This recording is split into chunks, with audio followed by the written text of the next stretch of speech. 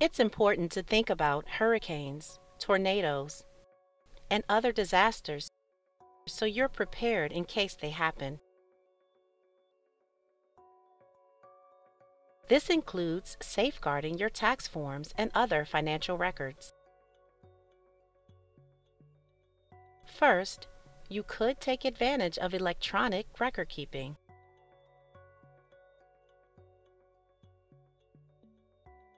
So see if you can receive your bank statements and related documents by email.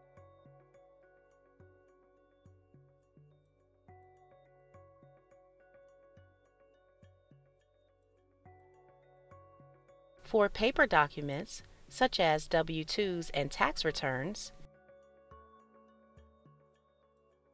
scan them into your computer and save them in an electronic format.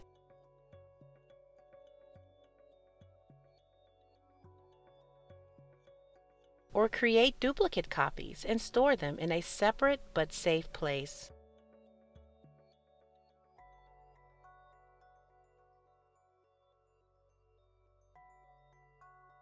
Now, if you own a business, make sure you create a plan for resuming your operations after a disaster.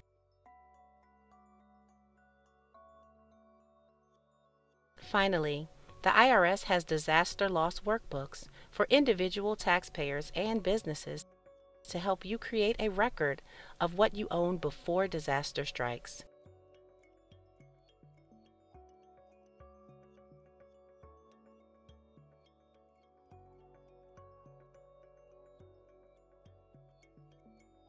For more information, check out this page, irs.gov/disaster.